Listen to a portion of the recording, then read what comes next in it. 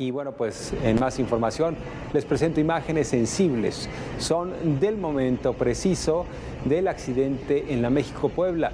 En el video de una cámara fija obtenido por Fuerza Informativa Azteca, podemos ver que los autos estaban en fila, detenidos, esperando pasar la caseta con dirección a la Ciudad de México, cuando de pronto reciben el impacto del tráiler.